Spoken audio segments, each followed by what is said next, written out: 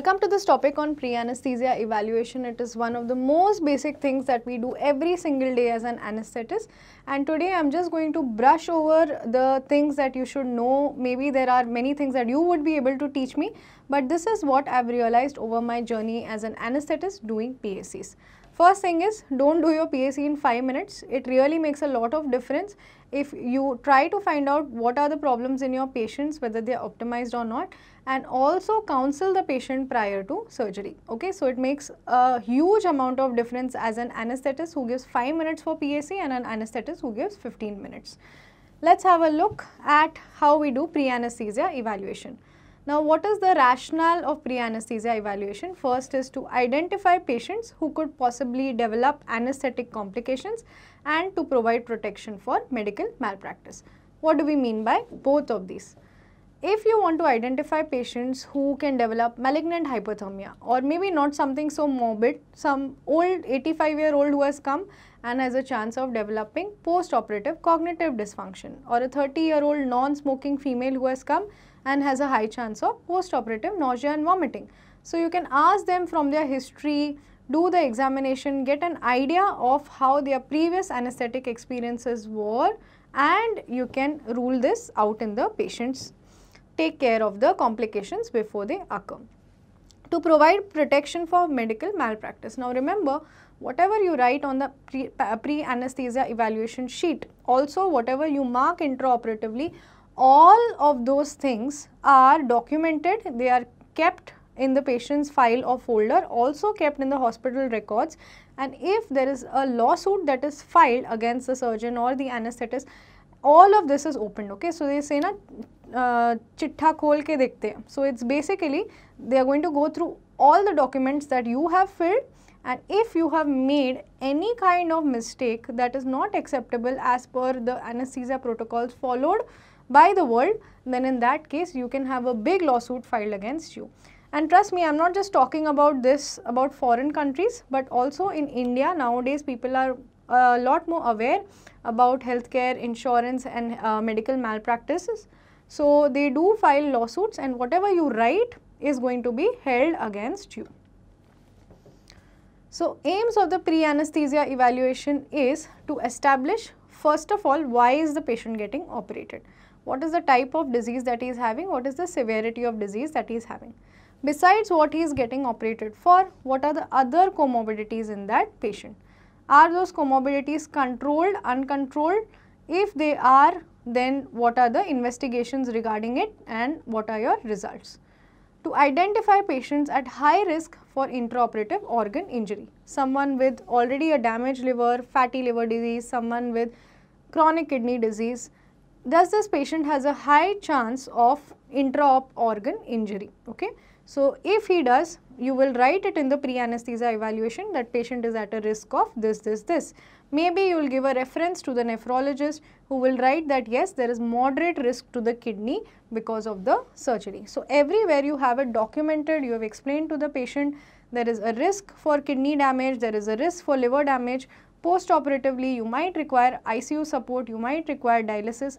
So, if the patient is prepared, then it makes the work of an anesthetist as well as intensivist much easier as compared to some complication happening and then unexpectedly the patient uh, being in a state of complete panic ki ye kaise ho gaya? I was not told about this that this is not going to happen okay? Next is estimate the perioperative risk using statistical risk models let me give you a small example of this we've done our entire chapter on ischemic heart disease there we used perioperative risk models like the Lee's revised cardiac index or the Gupta's perioperative risk calculators. So, these risk calculators basically give us an idea of a patient who is already suffering from cardiac disease is going to undergo a surgery. So, what is his risk of perioperative cardiac events? Okay. So, if you have a number on the paper, you use these risk calculators or risk indices and you tell the patient, you counsel the patient that look, there is a 2% chance that you can have a myocardial infarction perioperatively. You are giving him a proper number. Then this patient knows what he is in for versus saying, ha, there is a chance of myocardial infarction or maybe it won't happen but it's less chance or more chance. It's so much better when you use objective numbers as compared to subjective words.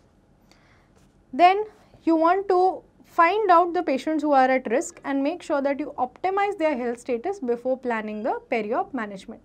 For example, if you have a patient who is at high risk for cardiac events perioperatively and he is undergoing some small surgery, say he is undergoing some hernia repair.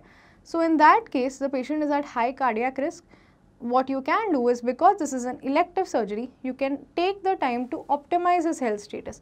Try to optimize his cardiac status by starting medications if required, doing a coronary vascular, vascularization. So, all those things can be done to optimize before he is taken for elective surgery. But if he is taken for emergency surgery, you have no time for optimization. In that case, your pre-anesthesia evaluation will be focused on explaining to the relatives what is the risk of the surgery involved. Next, to provide objective information to patients, families and to familiarize them with protocols. Nowadays, it's Google Dunya, everyone wants to ask too many questions. So, you give them the time to ask their questions, you answer their questions so that you develop a rapport with them and they know that you are giving the best care for your patient. At the end of all this question answer session, you are also going to make them sign an informed consent. So, the patient as well as their relative will sign the informed consent that I have been explained everything regarding anesthesia that I will be given, my options and the complications associated with it and I have understood it in my own language and I am signing that consent. Okay? So, that protects you from every kind of legal implication.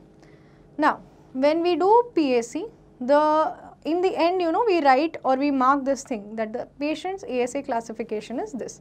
So what is the ASA classification? ASA classification is nothing but American Society of Anesthesiologists Physical Status Classification. Okay. So at the end of the entire PAC, we have to mark what is the risk of this patient to undergo this surgery under anesthesia. Okay. So we divide this classification into six parts. So, I always remember it like this ASA physical status 1 and then ASA physical status 6. Beach ka 2, 3, 4, 5 kha Okay. So, I have not eaten it but ASA physical patient 1 means there is a normal healthy patient and he has no comorbidities. Okay. ASA physical status 6 means he is dead.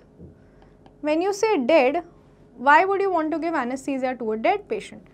Okay, so I am not giving anesthesia to a dead patient, this patient is brain dead. So I am harvesting organs from a brain dead patient. Again, brain dead patient is not going to have any reflexes, he is not going to have any movements during the surgery of organ harvesting. So why is he on the list?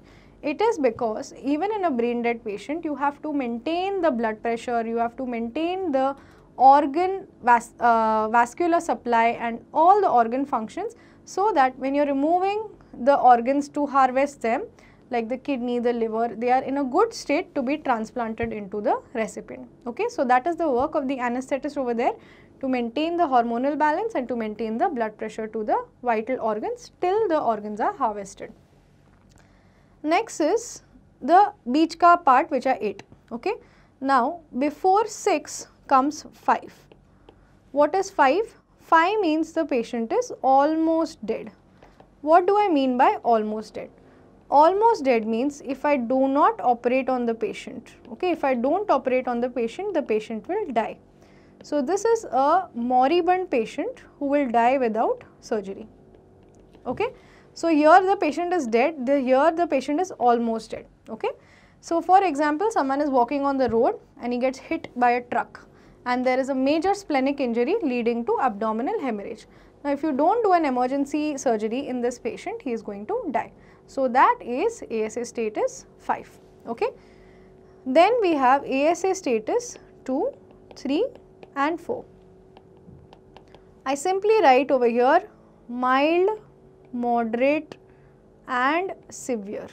Okay. Now, what do I mean by mild, moderate and severe? So, this patient has a systemic disease. I am going to write the systemic disease as SD now, which is mild in nature, moderate in nature and severe in nature. So, what is this? For example, there is a patient who has hypertension. He says that I am taking the medications for hypertension and you check his blood pressure in PAC OPD, it is 120 by 80. So, this is a controlled mild systemic disease. Okay. Now, the patient says that same patient, different scenario. He says, I have hypertension, I am taking medications for it. You check your uh, his blood pressure in PAC OPD, it is 180 by 100. So, here it is uncontrolled hypertension. Okay. Along with this, you ask whether there are any organ involvements, any end organ dysfunction in these patients. So, you ask if there is hypertensive nephropathy, hypertensive retinopathy, the symptoms for all of those patients is no. Okay. So, this is uncontrolled systemic disease, but no end organ dysfunction. No end organ dysfunction. So, this is ASA status 3 okay. ASA status 4 is severe systemic disease with end organ dysfunction and there is a very important word to it which is a constant threat to life. Okay, this is a constant threat to life. For example, this patient is coming to me, again I check his blood pressure, he is hypertensive, his blood pressure is 180 by 100, uncontrolled hypertensive. Along with this, he says he had stroke one year ago and nowadays he gets angina or chest pain. Okay? So, there is a chance that he has end organ dysfunction and he has a chance of myocardial infarction because of the rise in the blood pressure. Okay? So, this is a constant threat to his life and as a result of this I place this patient in ASA status 4. So, you saw how to remember ASA classification. 1 is absolutely healthy and normal, 6 is absolutely dead, 5 is almost dead, then you have 2, 3, 4 which is mild, moderate and severe systemic disease. Now, these are called as ASA physical status 1, ASA physical status 2. What about if someone is pregnant or if someone is a smoker or if someone is an alcoholic? Remember, pregnancy, smoking and alcoholism, all of them come in ASA status 2. They do not come in ASA status 1. Okay.